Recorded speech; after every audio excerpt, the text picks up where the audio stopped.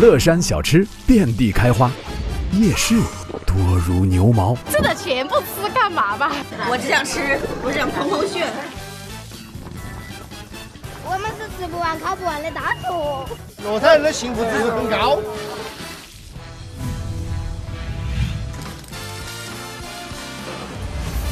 我们活活到八十岁我们就会吃到八十岁。